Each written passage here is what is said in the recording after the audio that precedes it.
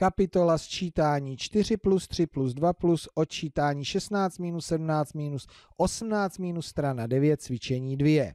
Přečteme si zadání. Dokreslete velkou ručičku hodin.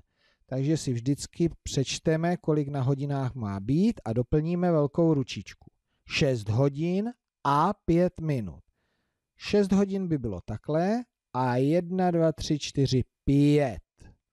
6 hodin a 10 minut. 6 hodin a 5 a 10 minut. Čtvrt na 7. Čili malá, ano, utíká k sedmičce, velká ukazuje na čtvrt. Čtvrt na 7 a 5 minut. Čtvrt na 7 jsme si ukázali, že je takto a ještě poposkočíme o 5 minut dále. Čtvrt na 7 a 10 minut čtvrt na sedm a pět a deset minut. Půl sedmé, ano, malá ručička je na půl cesty k sedmičce, půl sedmé. Takže tady bylo všude a nějaký čas a k němu jsme přidávali. Tady začínáme za, takže za 10 minut tři čtvrtě na sedm. Tři čtvrtě na sedm, to je tady, ale to se stane až za 10 minut, za pět, za deset.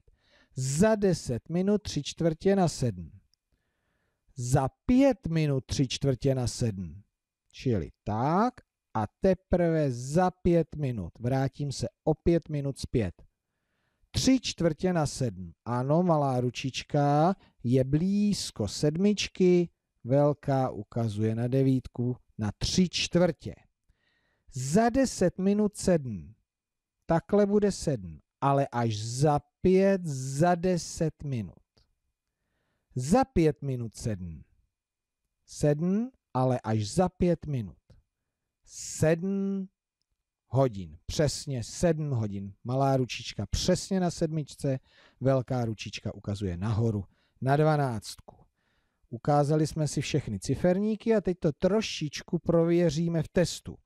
Určete, jaký čas budou zobrazovat hodiny s ručičkami. Je 5 hodin a 5 minut.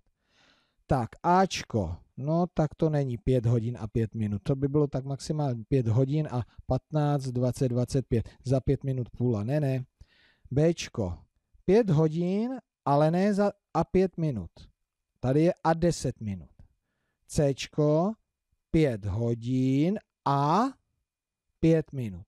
Vybírám za C. Ještě něco si ukážeme.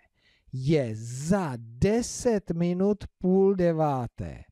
Takže půl deváté, tady to je půl desáté, půl deváté u Bčka, ano, za 10 minut se to stane. Ještě se podívám, tady, tady je čtvrt, a tady je za pět minut čtvrt na devět. Výborně. Dva, eh, dva úkoly z testu jsme si ukázali, ty ostatní si ukážete ve škole, společně si je vypracujete.